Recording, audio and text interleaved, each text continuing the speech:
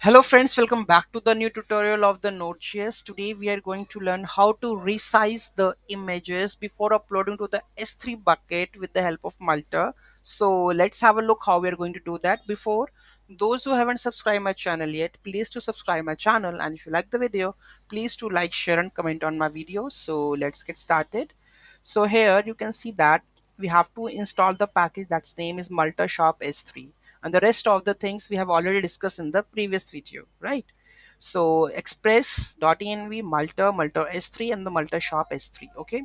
Any issue regarding the multer s3 you will also get this in my video also. I already uploaded if the multer is not multer s3 is not working okay? So after that we have to configure the aws sdk update authentication part right? And this is the main part that we have to do that is called the storage s3 storage we have to take right? Bucket key acl and the resize. So on which format you want to resize height and the width you can just add it over here right? And then upload multiple storage storage and upload here. You can upload multiple single anytime. You can change it accordingly right? So i'm going to upload the single image okay? So let's try to upload this one image. So here we have this one so let me upload the image. So i'm going to upload this image. So you can say see that the image height and width right? Send this image okay? And this is successfully uploaded. Done. This is the image path okay?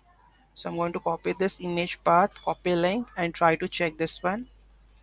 Okay so here we go with this one. So you can see that the image resize okay so this is the width that is 400 i want to make the width like smaller. Okay so let's make it like uh, 300 or 200 or 100 okay save this restart.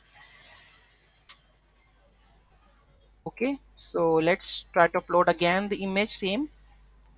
So i'm going to take the image again and uh, upload this one. Uploaded. Let's have a url of that one copy link and check it's 100 or not. You can see that.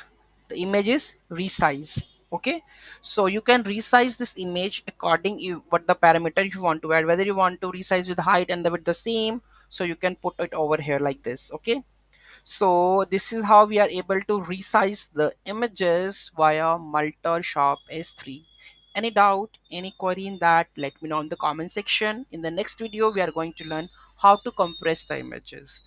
Thank you so much for watching this video. Have a great day.